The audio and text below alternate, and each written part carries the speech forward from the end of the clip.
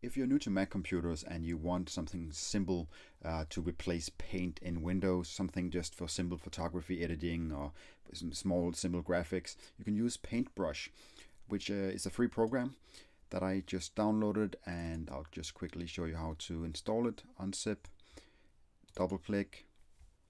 Yes, I want to open it.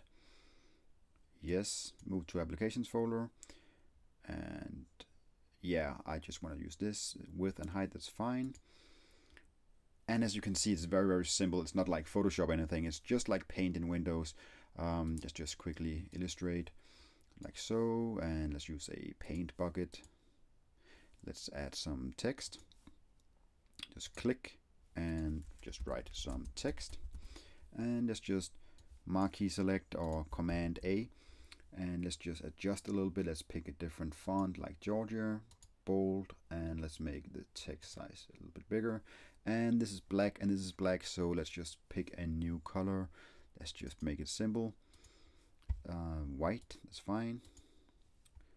Place and click. And now we have some text very very simple.